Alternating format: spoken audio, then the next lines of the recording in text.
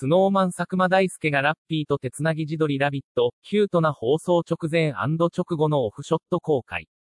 ラビット、始まりますという一言を添えたポストに、桜ピダと歓喜の声スノーマンの佐久間大介が個人 X、旧 Twitter で、TBSK、ラビットのスタジオで撮影したオフショットを公開した。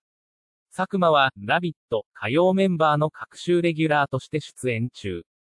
公開されたのは、佐久間が、ラビットのキャラクター、ラッピーの手を握って、ラビット、始まりますという一言を添えた、佐久間の丸いキュートな目が際立つカメラ目線の自撮りショット。ピンク髪が映えるベロアかけるレースの黒ジャージにも注目だ。また番組終わりにも、ラビット、ありがとうございました。